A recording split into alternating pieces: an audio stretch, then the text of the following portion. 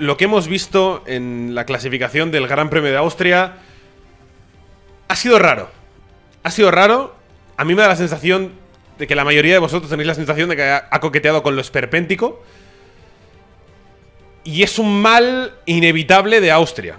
Que se intentó paliar con más bananas disuasorias o con eh, pianos más altos en las salidas de las curvas. ¿Qué pasaba? Que los pilotos se salían exactamente igual, simplemente que rompían el coche. Entonces, ¿de quién es culpa esta situación? Todo esto, que es lo, que tú me decías antes, ¿no? Durante el directo, Jorge, si tú estás con un amigo que no es muy usual de la Fórmula 1 y ves esta clasificación, mm, que van cambiando los tiempos, de repente quitan un tiempo, vuelven a poner un tiempo. ¿Esta situa- situación tiene cura? ¿Es simplemente aceptar que Austria es así? No sé cómo lo ves tú. No, tiene cura. Tiene cura, que es eh, poner grava. Hasta aquí mi intervención. Es que es tan simple como eso. Tiene cura, que es poner una barrera natural que impida que los pilotos al pisar ahí ganen una ventaja.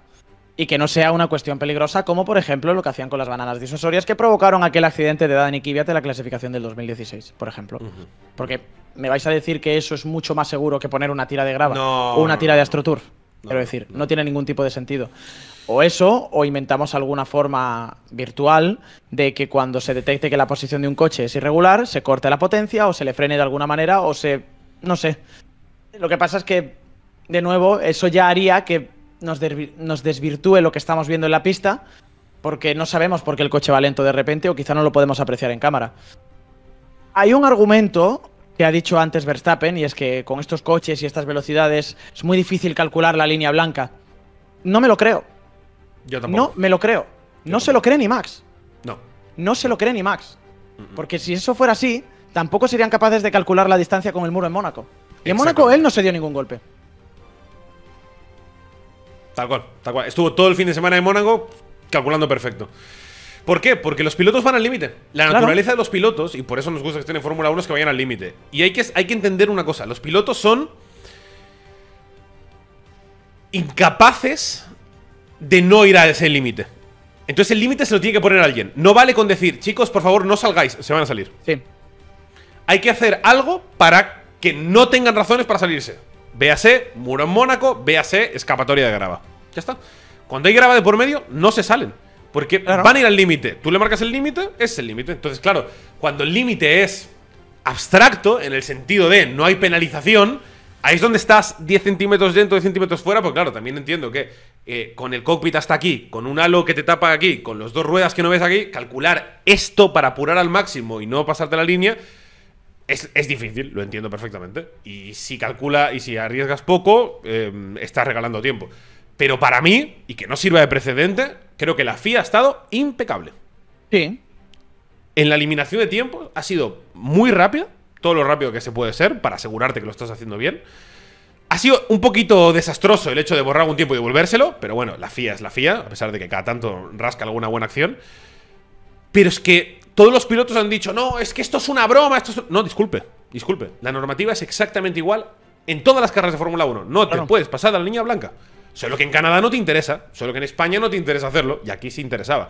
Entonces, a mí no me vale cuando el Checo cae eliminado en Q2 que dice, no, es que es una broma estos límites de pista. Disculpe, caballero. Los límites de pista no tienen la culpa. Son iguales para todo el mundo y son iguales en todas las carreras del año. Claro. Solo que en este circuito te tienta más o te han puesto más cebo para que te lo saltes.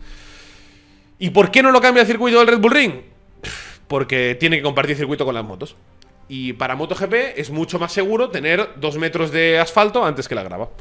La pregunta que tengo yo, porque es desde el absoluto desconocimiento, es ¿cuán caro es cambiar las escapatorias?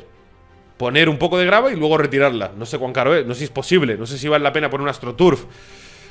A una superficie un poco más que patine un pelín. No, no- no- no estoy seguro cuál es la alternativa, pero tampoco me vale, Jorge, que digas, no, el mayor espectáculo del mundo, la Fórmula 1. Ah, esto es así, mala suerte.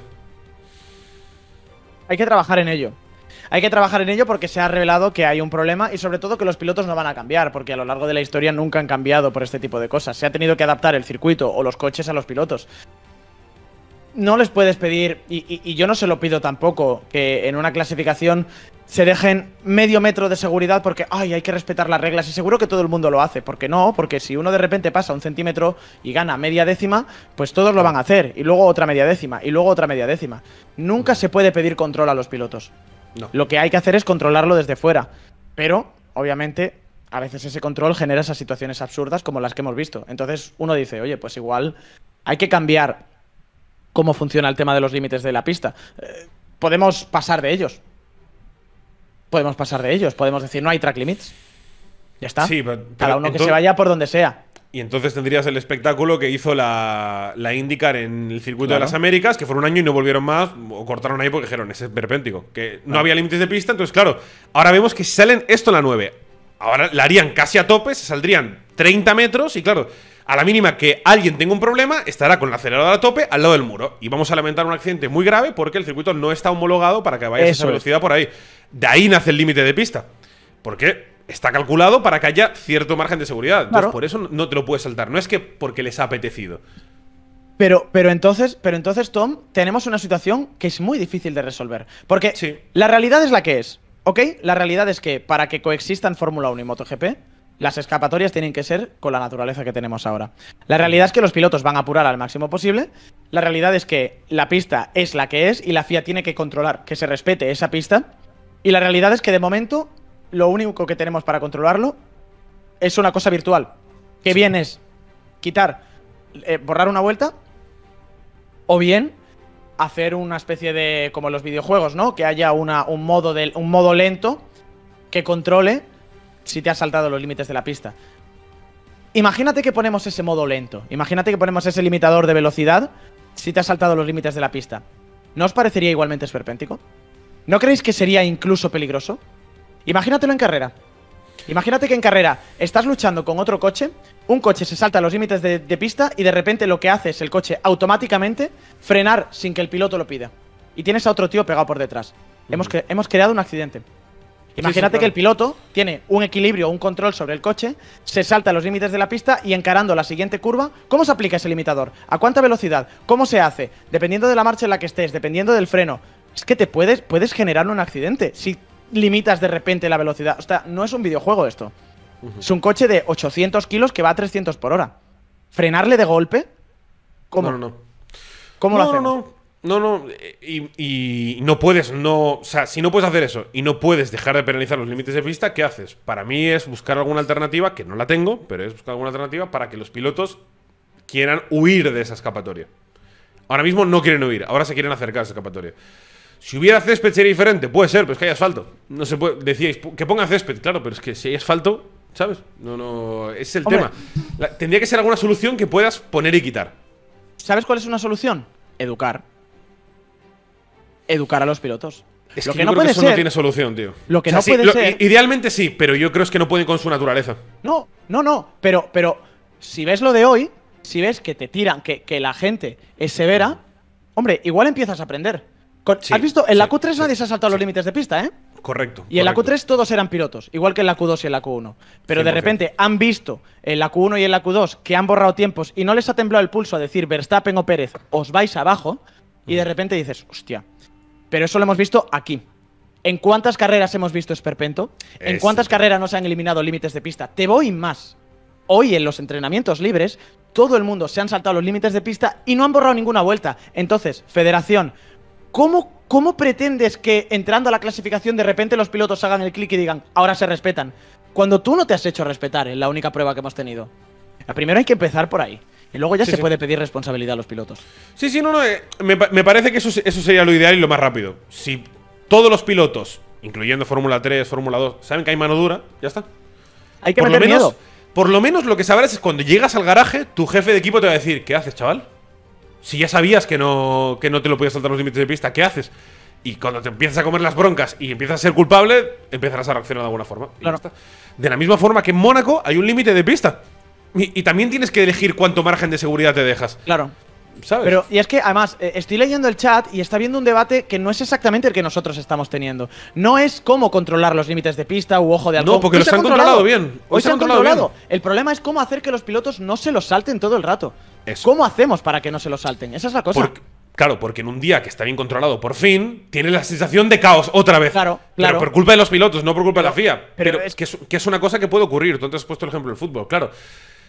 Estaría muy bien ver un partido de fútbol donde hay tiki-taka, donde hay muchos goles. Pero también hay partido de fútbol que se cosen a patadas y no hay partido. ¿Y qué vas a hacer? ¿De quién es culpa? Pues, pues de los jugadores que se han decidido pegar en lugar de, de jugar. ¿Qué vas a hacer? Parece que no aprendamos. Pero ¿cómo lo cambiamos? Chris, es, es una cosa que estábamos debatiendo antes. Lo, lo cambiamos eh, simplemente haciendo que no, que no merezca la pena tomar los riesgos que te llevan a salirte de pista. Que los pilotos eviten esa situación porque no les vale la pena. Claro, lo- los pilotos cuando tú les dices no puedes salirte de, de los límites de la pista, no se salen. Entonces, tiene que ocurrir que no te puedas salir de los límites. ¿Por qué motivo? Porque tengas una sanción inmediata. Pues mm, bueno, sería una opción. Eh, y, pero, pero yo creo que lo más natural es porque hubiese grava al otro lado. Ya. Eso sería lo mejor. Pero si no se puede tener grava, para mí lo de hoy. O sea, no, no me ha gustado lo que he visto hoy, me parece un esperpento. Pero me ha gustado que quizá hoy pueda ser un primer paso para que acabemos por fin con esta tontería. Porque hoy la FIA llega y le dice en el briefing a los pilotos: 47 vueltas, chavales. Claro. Y en el próximo Gran Premio serán también 47. Y 47 y 47 hasta que aprendáis. Sí, pero bueno, Giorgio, ¿qué, ¿cómo fue el año pasado en, en Austria? Es que no es, no es nuevo, ¿no? Y, y bueno, con el tiempo no, no mejora. Y, y el año pasado también se eliminaron muchas vueltas. Y también había límites de pista. O sea que no, no es determinante, ¿no? No es, no es determinante que la, que la cosa se, se persiga de una forma radical para que se deje de hacer. Salvo que, insisto, no hubiese tantas advertencias, que hubiese una, una sanción o algo así. Pero entonces sería algo Sumamos desproporcionado. más al esperpento. Es seguir Sería sumando al esperpento. Sería jugar a la desproporción. Y eso a mí en general, en general en la vida no me gusta. Entonces, bueno, la- la- para mí la solución sigue siendo la misma y es poner hierba o poner grava. Y, y quien diga que el circuito de Red Bull Ring, si le ponemos hierba a las zonas que ahora están pintadas de azul en- con, con asfalto o con cemento, eh, no es seguro, es que no ha visitado el circuito de Bakú, por ejemplo. Claro. Sí, sí, no, está claro. No me sirve el argumento, no, es que entonces el circuito se vuelve muy inseguro. No, No. no. Entonces eh, estamos en un deporte y estamos en un espectáculo. De todos modos, vengo aquí a contaros dos cosas. Ok. Vale. La primera, y yo creo que es la- en el fondo la más importante, es que hay otros métodos, otros métodos que no implican grava, no implican modificación de circuito, no implican sanciones desproporcionadas para que actúen, digamos, de elemento inhibidor para los pilotos, sino otro sistema. Y es que, de acuerdo, los pilotos van a seguir saltándose los límites, no podemos tolerarlo y tienen que eliminarse esas vueltas. Pero entonces, ¿por qué no se hace de forma automática como ocurre en MotoGP? En MotoGP, cuando se saltan los límites de pista, inmediatamente, tal cual pasan por meta, la vuelta deja de ser válida. Es inmediato. No pasan tres minutos, ni cinco, ni diez, que hemos visto en la Fórmula 3, por ejemplo, en la clasificación. No, no, no, es inmediato. En la clasificación de Fórmula 3 os digo la verdad. Ahora mismo, que todavía no he recibido por parte de la, de la organización las tablas definitivas, no me doy por, por, Claro, claro. por enterado de cuál es la parrilla. Esa es la verdad, eso es en Fórmula 3 Horas más tarde. horas más tarde, cuando ha empezado la clasificación de Fórmula 2, he lamentado el momento en el que nos han cambiado la pantalla de dirección de carrera y ya no hemos visto más mensajes de eliminación de vueltas de Fórmula 3, porque quizá estaba cambiando la parrilla y yo no me estaba enterando. Claro. Por supuesto, hablo 10 minutos después de terminar la retransmisión. Terrible. Quiero decir, esto pasa en la Fórmula 3, pasa en la Fórmula 2, pasa en la Fórmula 1, que la Fórmula 1 se han dado un poco más de prisa, pero aún así ha habido momentos en los que ha pasado 5 minutos sin notificar una, una eliminación de la vuelta. La pregunta es, ¿por qué no se hace automáticamente? en Moto, si en MotoGP se puede hacer, ¿por qué no en Fórmula 1? Tal cual. Entonces, eh, ahí hay advertencias y advertencias es eh, aparejado a la eliminación de la vuelta. Y luego está a la tercera o la cuarta, creo que es a la cuarta, ya tienes una long lap, que se llama. Que es otra cosa que la Fórmula 1 debería plantearse. Eh, y sé que es un mal momento para- sé que es un momento complicado para copiar a MotoGP porque la Fórmula 1 está en la cresta de la ola y MotoGP no está atravesando, vamos a decir, su mejor momento. Pero si hay algo que funciona, a lo mejor tenemos que mirarlo. Entonces, Una long lap en Fórmula 1. bueno, bueno, yo digo que digo que no sería descabellado. Solo lo, de- lo dejo ahí. Em, y derivado de esto, que me parece que ha sido el verdadero protagonista de la clasificación hoy, ha sido el comisario que quitaba los tiempos en la curva 9 y el que lo hacía en la, en la curva 10, ¿no? Pero voy más allá. Eh, el protagonista, por supuesto, ha sido el Poleman, Max Verstappen, ha sido la bomba y luego todo el esperpento de los tiempos, al que se ha referido también Max Verstappen holgadamente eh, al bajarse del coche y desde arriba del coche también ha, ha utilizado la palabra ridículo, que no sé vosotros, nosotros lo hemos empleado también en la retransmisión de, de la clasificación en Dazón. Eh, pero, pero derivado de esto, nos encontramos con algo curioso. Hay casos que, como los tiempos no se eliminan inmediatamente, sino que pueden tardar un tiempo, hay casos en los que los equipos no saben si una determinada vuelta va a eliminarse o no. Y eso ha pasado hoy en un box. Ha pasado hoy en el box de Carlos Sainz. Entonces, eh, claro, yo he visto algo extraño. Digo, ¿por qué este señor en la Q2, con un tiempo bastante bueno, ha montado un neumático nuevo y ha salido a pista? No tiene sentido. Claro, el sentido es que lo han mandado a pista completamente fuera de programa por si, por si le quitaban la vuelta. Entonces, y me diréis, bueno, ¿y qué consecuencias tiene esto? Las consecuencias que tiene son sencillamente que mañana, para, la para el sprint shootout, en la Q3 o en la tercera fase, porque no sé si se llama Q3, vamos a decir Es SQ3. SQ3, vale. En la SQ3 de mañana, Carlos Sainz no tendrá un neumático nuevo, Ah, porque O lo ha usado hoy en la Q2. porque lo ha usado hoy en la Q2. Y no puedes O sea, que hacer no un solo intento hoy en Q3, porque hoy es la carrera. O sea, hoy tienes que salir con dos blandos sí o sí en Q3 nuevos. No puedes Efectivamente. jugártelo para dejártelo mañana. Efectivamente. Porque claro, hoy te estás jugando el domingo. El domingo, a pesar de todo, por puntos es más importante que el sprint shootout.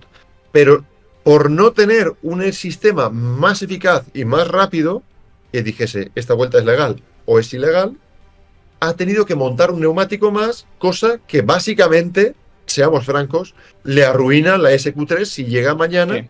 porque en comparación con la mayoría de sus rivales, incluido su compañero de equipo, no tiene ese neumático blando nuevo. Claro, Es decir- que- quedará quinto, sexto, con el mejor de los casos. Claro, tiene que confiar en la lluvia. O sea, ya está ya eh, bailando y cantando para invocar los dioses de la lluvia para que mañana en la SQ3 caiga el agua. Pero eh, eso es algo que, que dices, ah, bueno, no me había dado cuenta, pero te des cuenta o no te des cuenta, arruina una clasificación de un Claro. piloto mañana. Menos mal, menos mal que para este gran premio han cambiado la regla y se puede usar el blando usado. Si no, Carlos no salía mañana a la SQ3, ¿eh? Eso como es. Norris. Como Norris Como- en Bakú. Eso es. Y otro piloto, fueron dos, si no Eh, recuerdo sí, mal. Norris y Sunoda, creo que era. Noda. Y, Menos mal. Con lo cual, dentro del mal, el menos. Pero, pero estaremos todos de acuerdo Es entre en empezar que con neumático usado. es- es absurdo modificar para mal tu estrategia por la indeterminación de no se sabe muy bien qué o quién que tiene que decidir que la vuelta se elimine o no. Ojo, es más, podrían eliminar la vuelta, forzar que saliese y luego reinstaurar la vuelta como le ha pasado a Pierre. Gasly, eso es. De- por todos esos motivos, y he dado, eh, creo que he dado suficientes, creo que el sistema de control y eliminación de las vueltas no es adecuado. Sí, o sea, te- 100% eh, con lo que dices, Cristóbal, pero no entiendo por qué Ferrari ha hecho eso con un solo coche. Porque, el- porque la vuelta sospechosa era de Carlos. Claro, Claro, pero mi pregunta es, a ojos de Ferrari, ¿qué nos podemos imaginar que sea sospechoso? Pues que estuviera muy en el límite. Claro, Porque- pero, o sea, me refiero, es. Hay una línea blanca que objetivamente marca el límite. ¿Qué significa? O sea, ¿sabes a lo que me refiero? De, Y sí. la- lo, que, lo único que puedo entender es que la hayan visto y han dicho, vale, está más fuera que dentro, vuelve a salir. Porque si no, el. Bueno, por si acaso, claro, por si acaso es sacrificar todo el sábado ya. Exactamente. Exactamente. Pero, ah, pero luego, hasta donde yo sé, no se le ha borrado la vuelta. O sea, al final ha sido para nada. Al final ha sido para nada. Eh, y, además, fijaos, eh, he podido hablar un poco con el box de, Carlos y la circunstancia ha sido estar ya bajado del coche, hablando sobre la Q3, vamos a hacer esto, vamos a hacer lo otro, esta es la estrategia. A, de un segundo a otro, hay que salir, hay que salir, hay que salir. O sea, es, el procedimiento ha sido así que, dadas las circunstancias en que mm, las cosas podían tardar más de la cuenta, pues era la decisión acertada, porque imagínate que le quitan la vuelta Ya. y lo tenemos decimoquinto mañana en- o decimocuarto mañana en parrilla, ¿no? Pues eh, no hubiera sido razonable. O sea, ¿no, ¿no te parece que sea una sobrereacción de Ferrari? Que, que hayan entrado, que, que se han pasado de, de precavidos. Si se han pasado de precavidos es por poco. Si Ya. se han pasado es por poco. Y dices, bueno, es que mañana quedaremos sextos. mm, de esta manera salimos el domingo decimocuartos. Mm, bueno, Ya, eh, sí. no, no merece la pena correr el riesgo, ¿no? Pero, pero es. A mí me parece que está en el borde de la injusticia. Entonces, que, que, oye, es- es probable que le haya ocurrido a otros pilotos. Yo sé esto porque es eh, un piloto español y estamos pues siempre con un con una oreja y también ellos quizá nos tienen más en cuenta a la hora de contarnos sus, sus cosas. Eh, pero, pero le ha pasado a Carlos y, y ahora le deja en una situación comprometida. De hecho, pues evidentemente eh, con el enfado, con el, el despropósito, la desilusión de mañana tener perdida la SQ3, si, si, si todo va como tiene que ir, pues la verdad es que eso te, le llega a afectar al piloto incluso en la, en la propia Q3, ¿no? Es decir, como ya es un desastre, ya voy por detrás, mm, ¿sabe? No tengo un juego extra para si realmente me la tengo que jugar en la Q3, hacerlo a lo bruto, no, ya, ya no tienes más remedio que, que asegurar. Entonces, bueno, pues quería, quería compartir esto con Mm. vosotros, no sé qué os parece. Yo creo, yo creo que es eh, interesante.